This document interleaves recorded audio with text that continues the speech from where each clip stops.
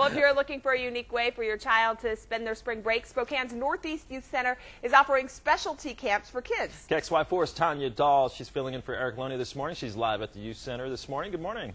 Good morning, Mike. Ketchup and steaks. I don't know. I had to, I had to chime in there. We are actually here talking about spring break camps for your kids, and there are special programs right here in Spokane uh, that you can sign up for. And we're here at the Youth Center. Tim Fry is with us. Tell us about these camps. Just kids having fun, and this is how we do um, our summertime programs. We have scholarships, and this is how we fundraise those. So, different camps. We've got the Spy Kids camp, we've got uh, the Jedi training camp, we've got a camo camp. Um, what can people expect if they decide to sign up their kids for these activities? If you're going to sign up for the camel camp, you're going to be outside having fun playing Army. Jedi training, don't step on the dark side. And in Spy Kids, you get to be doing a mystery. And the camps range from about $10 to 109 It all depends on what you need, um, what your family needs, what your child wants to do.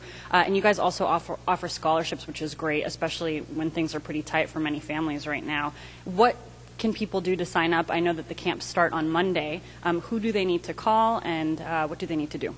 You can call Rachel at 482-0708, or you can go online and go to SpokaneNYC.org.